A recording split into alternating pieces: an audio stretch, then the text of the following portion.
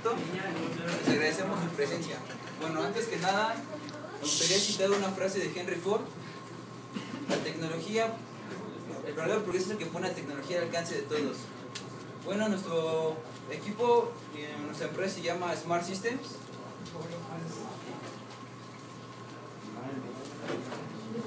Bueno, eh, nos presentaremos antes que nada el director general, un servidor, Carlos Alberto. Tenemos la gerencia de sistemas, en desarrollo de software está Ordóñez, Moisés, en pruebas mi compañero García Labra y en diseño de software mi compañero Flores, Luis. Nuestra misión es ser una empresa capaz de dar soluciones al sector público y privado, así como mejorar el mundo con nuestras tecnologías a través de mejores sistemas y software para innovar el ámbito en la actualidad. La Ser una empresa con un crecimiento extraordinario, con presencia en distintas partes de la República Mexicana. Em, decidida a cambiar el mundo a través de sus productos, realizando proyectos con un alcance de nivel mundial y sirviendo a nuestra patria con la excelencia reconocida del Instituto Politécnico Nacional. Bueno, por último tenemos nuestros valores. Los valores de nuestra empresa son cuatro de forma general. El primero que es el respeto, pues sabemos que el trato digno entre el empleado y el cliente favorece el desempeño de ambas partes para la formación del proyecto. Aparte de que este, se da, bueno, fortalece las soluciones en los mismos. Seguimos con la igualdad. Distinguimos que la igualdad entre la idea que aporta cada persona dentro de la empresa se tomará en cuenta de forma igual para la formación del proyecto, aparte de que se le dará el mismo trato a cualquier persona que sea considerado como nuestro cliente. Por tercer lugar tenemos la lealtad que practicamos, ya que todos los empleados de Smart cumplimos con nuestras tareas y obligaciones con la empresa, asegurándose de que si la empresa triunfa, nosotros también. Y por último, la constancia, es decir, la continuidad que le dedicará Smart Systems a cada uno de los proyectos, la firmeza y la perseverancia que le daremos a cada uno de los propósitos. Y pues en sí esos son los valores más importantes de nuestra empresa y ahora continuaremos con el proyecto. Bueno, el nombre del proyecto es SAC, como ya lo recordarán, está factorizado. Sistema de Administración de Almacén de CENEX, Smart Systems. Es que está factorizado, Centro de Lenguas Extranjeras. Creo que no es por esa clase, profesor. Este, bueno, nuestro cliente es el jefe de Departamento de Servicios Administra- Administrativos y Técnicos, la contadora Rojas. Y bueno, ahí está su ficha de contacto. Y bueno, el problema. El sistema actual de administración de, de almacén de CELNEX, Centro de Lenguas Extranjeras, Unidad Santo Tomás, tiene un difícil proceso para registrar los distintos productos por medio de tarjetas de almacén, lo cual ha provocado una gran inversión de tiempo y dinero, principalmente de que el inventario, en este caso, se inicia desde noviembre para tenerlo listo hasta a principios de año. Entonces es todo un, todo un rollo. Por suerte llegó Smart Systems a imponer una solución. Bien, este, este es nuestro objetivo. El objetivo principal de este sistema es mejorar el control de administración de productos en el almacén del Centro de Lenguas Extranjeras Unidad Santo Tomás. Al mismo tiempo, reducir la inversión de tiempo y costos en el proceso de administración de almacenamiento. Estas son las, nuestras estrategias, este, mostrar pequeños avances del proyecto a los usuarios para obtener nuevas sugerencias para el sistema, creo que está muy bien explicado. Este, realizar pruebas constantes para identificar errores en el sistema, hacer uso de diversidad de herramientas para el buen funcionamiento del mismo, delimitar correctamente lo que el cliente desea obtener del sistema.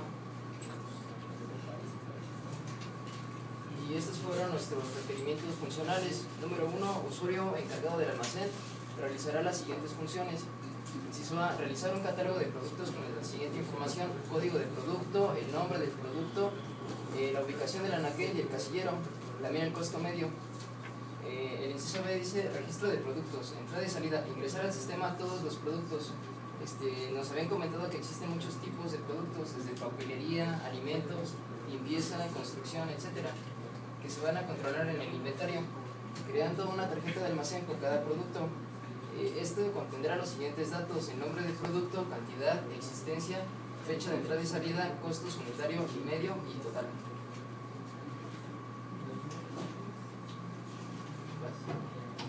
Los requerimientos funcionales también sería consultar productos por medio del nombre, del código de productos y la fecha de registro. Nosotros vamos, contamos con un ilustrador que va a poder este, ingresar cualquier, cualquiera de estas tres opciones le va a decir todo lo que que encuentre.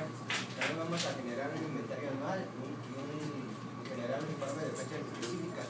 ¿Para qué? Para que pues, si el cliente solo necesita fechas o, o necesita por año, pues lo, lo despliegue. El usuario supervisor del sistema realizará las funciones este, consulta de movimientos realizadas por el encargado del almacén. Él solo va a poder consultar los productos registrados, realizar actas de usuarios, visitar usuarios y ver pedidos de usuarios. Este, el usuario general únicamente va a poder este, consultar un catálogo, el cual este, no va a mostrar todos los productos, sino que va a tener un filtro, el cual lo va a hacer el encargado del almacén, porque muchas veces si él no quiere que un producto sea visualizado, que lo tiene, este, lo va a filtrar y el usuario no lo va a poder ver en general. Muy bien, el mapa de navegación de SAS es básicamente su funcionamiento en sus distintos módulos. Para empezar, se encuentra con un inicio de sesión. Eh, tanto el administrador de almacén como el supervisor del sistema tendrán que acceder a este inicio para realizar sus respectivas actividades. El administrador de almacén cuenta con esas tareas, principalmente la de alta nuevos productos, el registro de productos en el cual interviene la entrada y la salida de los mismos, la consulta de productos, generar que como ya había dicho mi compañero es anual, y un informe, fechas específicas, aparte de que registra la ubicación de anaquel, casillero y tipo de productos cada vez que se hace una de estas tareas. Por otro lado, el supervisor del sistema tiene tres tareas principales. Da de alta nuevos usuarios, hace consultas de catálogo y edita usuarios del sistema, contraseña, nombre de usuario, etc. Y finalmente el usuario general, que cuenta con dos tareas principalmente, visualizar el catálogo de productos, de, la- de productos del almacén. Aquí cabe mencionar que este catálogo es de manera filtrada, no podrá ver los mismos datos o sí datos de el catálogo que puede ver el, el administrador y podrá realizar un pedido de acuerdo al catálogo. Aquí me faltó mencionar que ese pedido será este, rechazado o aceptado por el supervisor del sistema. Por favor. Y nuestro diagrama de casos de uso, que es prácticamente lo mismo, pero de forma más este, eh, ajá, específica. Tenemos tres actores, el administrador de almacén, el supervisor del sistema y el usuario en general. Como ya había dicho, el administrador del almacén podrá contar con distintas actividades, entre ellas generar el catálogo, registrar entradas y salidas de productos, dar de alta, dar de baja productos y modificar dichos registros. Aquí podemos ver que autentificar identidad solamente está para dos actores, que es el administrador y el supervisor del sistema, mientras que el usuario en general podrá consultar la lista filtrada del, almacén y generar su respectivo pedido. Y finalmente el supervisor del sistema podrá aprobar, desaprobar los dichos pedidos, generar un nuevo usuario y administrar los usuarios y las contraseñas. Los requerimientos funcionales. En la seguridad, no funcionales, perdón. En la seguridad, el sistema cuenta con la, con la función de autentificación, que es cuando el usuario entra con su password y pues, con su respectivo usuario. Este, además de que contamos con el método de cifrado DES, y esto es para garantizar la protección de reducir considerablemente la posibilidad de que perdamos datos o de que nos las este, roben. Este, la, la calidad, la funcionalidad del sistema está garantizada, puesto que se ha sometido a varios casos de prueba, además de que muestra un entorno visual agradable y de fácil manejo al usuario. Y otros requerimientos no funcionales, el soporte técnico. Bueno, nosotros contamos con un soporte técnico que resolverá problemas del sistema por medio de un, de un horario de lunes a viernes de 4 a 8 por vía telefónica para esto, para acordar una cita. Y, el- y, este, y tenemos un correo electrónico del cual también podemos nos puede contactar el cliente. Al comunicarse, como ya había dicho, se establece una cita y esa cita por lo regular sería los sábados o domingos. Este, bueno, pues ya. Y los requerimientos del sistema. En software necesitamos Java de última versión de software, MySQL de server v5.5 eh, y del sistema operativo Windows XP o superior, de Internet Explorer a, bueno, de cualquiera de los Internet Explorer más actuales. Y en hardware necesitamos una memoria RAM mínimo de 512 megas o superior, memoria requerida de disco duro de 500 megas mínimo y procesador Pentium 4 o superior con conexión a internet o alámbrico o